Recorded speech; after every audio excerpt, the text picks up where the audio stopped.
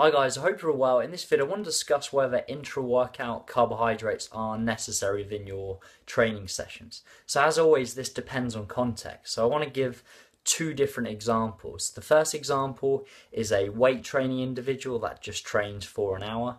The second individual is a endurance trainer that trains for two hours.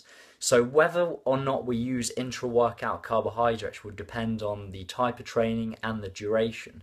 With regards to the weight training individual, it's important to note that weight training isn't that glycogen depleting in comparison to endurance training. Additionally, if you're only training for an hour, intra workout carbohydrates really isn't necessary. However, for our endurance training, training longer than an hour, consuming anywhere between 30 to 60 grams of carbohydrates after the first hour would be a very useful strategy. So you could just use a sports drink like Lucozade, for example, but for weight training, it's not really necessary.